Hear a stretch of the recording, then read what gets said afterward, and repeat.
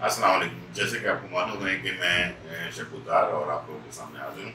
और हमेशा की तरह बहुत सारी बातें आप लोगों के साथ शेयर करता हूँ। बहुत ही मुख्तलिफ़ जगहों पर जो है मैं जाता हूँ। तो आज मैंने सोचा है कि एक शादी ऑर्गेनाइजेशन पाकिस्तान, उनके साथ मैं रिलेटेड हूँ और बहुत अच्छी सर्विसेज़ हैं इनकी और माशाल्लाह पाकिस्तान में एक बड़ा नाम है।